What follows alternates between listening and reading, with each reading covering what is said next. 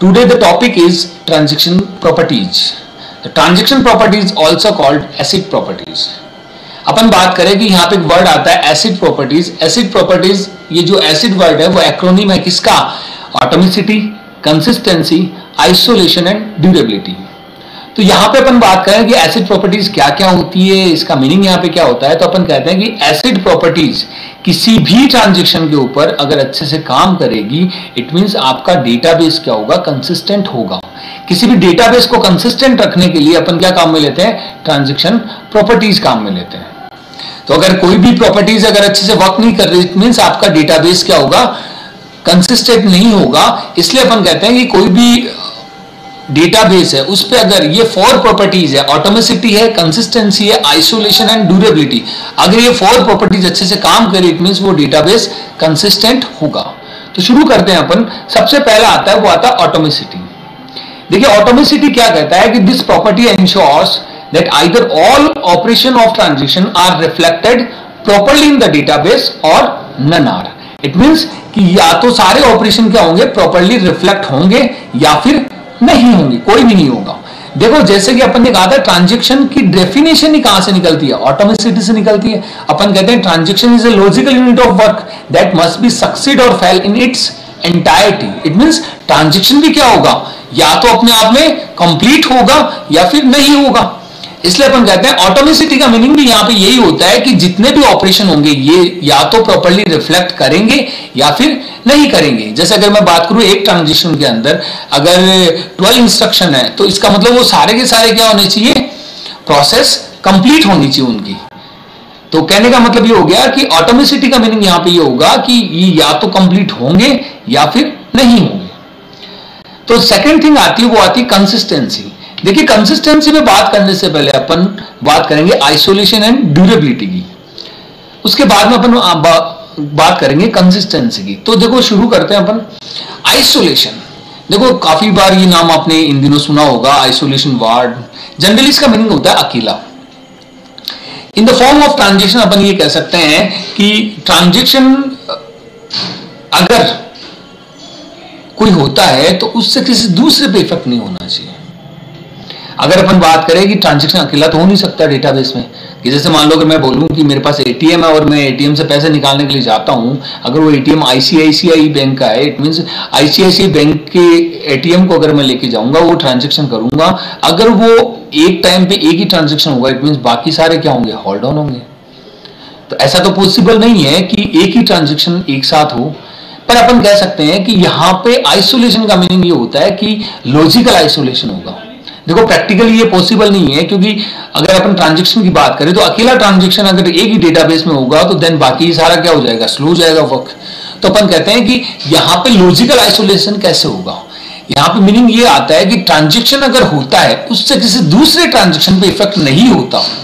अगर वो अकेला वर्क करे या फिर नंबर ऑफ़ ट्रांजेक्शन साथ में वर्क करे, अगर दोनों में कोई इसका रिज़ल्ट है, दोनों केस के अंदर रिज़ल्ट है, वो सेम आ रहा है इट मीन अपना आइसोलेशन वर्क कर रहा है। आइसोलेशन प्रॉपर्टीज़ वर्क कर रही है. इट मीन अपन ये कहते हैं कि it ensures that is executing transaction execution in isolation कि जितने भी ट्रांजेक्शन होने चाहिए, वो आइसोलेशन में होने चाहिए. It is unaware of other transaction executing concurrently in the database system कहने का मतलब ये हो गया कि जितने भी ट्रांजेक्शन हो रहे हैं, उससे किसी दूसरे ट्रांजेक्शन पे कोई इफ़ेक्ट नहीं पड़ना चाहिए. फॉर एग्ज़ाम्पल अगर मैं बात करूँ कि अगर आप आज किसी रेस्टोरेंट में खाना खाने के लिए जाते हैं आपने वहाँ पे खाना खाया, खाना आपको अच्छा लगा, आपने बिल पे किया, आप घर पे आ गए। नेक्स्ट डे अगर आप अगेन जाते हैं, वहाँ पे और दस आदमी बैठे होते हैं देन आप अगेन खाना खाते हो, खाना खाते हो, बिल पे करते हो और आप घर आ जाते हो, आप ये देखते हो कि अगर पहले दिन गए थे और आज आप जा रहे हो, इन दोनों में कोई डिफरेंस है क्या? अगर लोग और दस बैठे हैं तो उससे आपको क्या फ़र्क पड़ता है? तो कहने का मतलब ये हो गया कि ट्रांजेक्शन उससे किसी दूसरे ट्रांजेक्शन पे इफ़ेक्ट नहीं होना चाहिए। यही क्या है? आइसोलेशन है। एक और एग्जांपल की बात करते हैं कि अगर मैं रेलवे का टिकट बुक कर रहा हूँ तो उसी टाइम उसी टाइम पे हो सकता है कि और बहुत सारे टिकट बुक हो रहे हैं। पर आपको जो टिकट चाहिए, जो रिजर्वेशन चाहिए, अगर रेलवे आपको दे रहा है तो फिर आपको क्या दिक्कत है कि कोई दूसरा क्या टिकट बुक कर रहा है, वो कहाँ जा रहा है? तो कहने का मतलब ये हो गया कि आइसोलेशन का मीनिंग यहाँ पे ये है कि जो भी ट्रांजेक्शन होंगे, उससे किसी दूसरे ट्रांजेक्शन पे इफ़ेक्ट नहीं होना चाहिए। यही क्या होता है? लॉजिकल आइसोलेशन होता है। ओके तो कहने का मतलब ये हो गया कि आइसोलेशन का in the form of transaction ये मीनिंग आता है कि ट्रांजेक्शन चाहे अकेला हो, चाहे फिर एक साथ बहुत सारे ट्रांजेक्शन हो, इससे किसी दूसरे ट्रांजेक्शन पे इफ़ेक्ट नहीं होना चाहिए। एंड नेक्स्ट आता है वो आता है ड्यूरेबिलिटी ड्यूरेबिलिटी का मीनिंग यहाँ पे ये है कि this property ensures that after the successful completion of a transaction when a transaction commits the changes made by it to the in it to the database persist remains in the database कहने का मतलब यह हो गया in the case of failure भी, अपन कहते हैं कि जो भी अपन ट्रांजेक्शन करते हैं, वो ड्यूरेबल होना चाहिए। ड्यूरेबल का मीनिंग यहाँ पे ये होगा कि ये मेमोरी के अंदर परसिस्ट करना चाहिए। देखो, जैसे अगर अपन बात करें कि जैसे मान लो आज मैंने रेलवे से टिकट बुक की है और 15 डेज़ बाद में अपनी टिकट है, मेरे को कहीं जाना है। अगर मैं 15 डेज़ बाद में अगर स्टेशन पे जाता हूँ, वहाँ मेरे को रेलवे का कोई अधिकारी आके बोलता है कि भैया माफ़ करो, ये तो हम भूल हो गई और ये टिकट आपकी बुक नहीं हुई तो क्या ये सही है?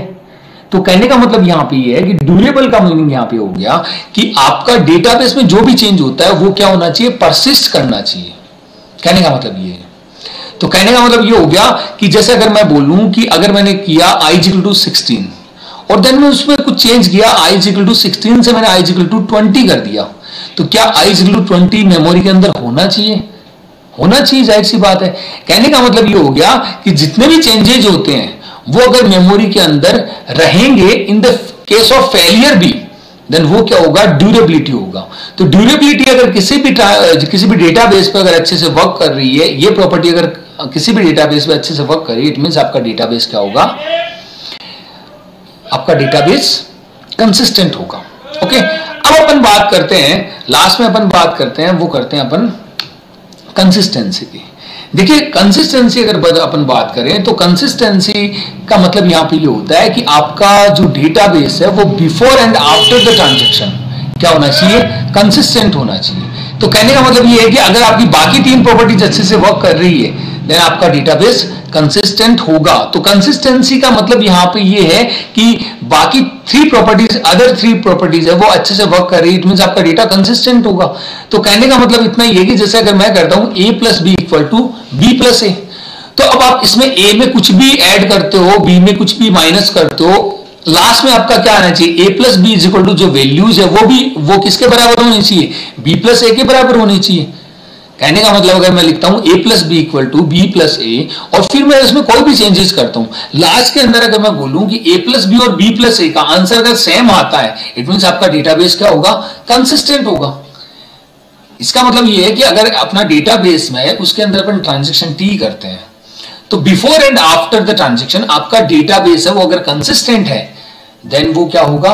कंसिस्टेंसी होगा। इट मीन्स कि ये प्रॉपर्टीज़ कंसिस्टेंसी क्या कहती है? कंसिस्टेंसी ये कहती है कि before and after the transaction आपका डेटाबेस क्या होना चाहिए? कंसिस्टेंट होना चाहिए। तो देखिए अपन कहते हैं कि this property ensures that the database remain in the remain in a consistent state before the start of transaction and after transaction is over तो कहने का मतलब ये हो गया कि ट्रांजेक्शन प्रॉपर्टीज़ ये फोर प्रॉपर्टीज़ अगर किसी भी ट्रांजेक्शन पे अगर अच्छे से वर्क कर रही इट मीन आपका डेटाबेस क्या होगा? कंसिस्टेंट होगा।